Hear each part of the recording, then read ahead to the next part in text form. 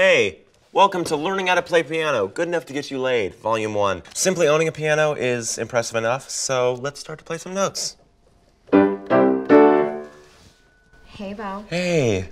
How'd you get this piano into your dorm room? Lesson number one be introspective. The less you say, the sexier you are. Uh, this next piece is uh, off the soundtrack about that movie about that dog. Beethoven? No, Air Bud. Lesson number two learn how to play arpeggios. Sounds so beautiful. Oh, it's nothing. It's just a series of arpeggios. Lesson number three say the word arpeggio as much as possible, even if it doesn't make sense. Your eyes, they're like arpeggios on fire. Wow. Thanks. The only thing sexier than a pianist is a songwriter. Notice how I didn't make an easy pianist joke, because integrity's sexy as well.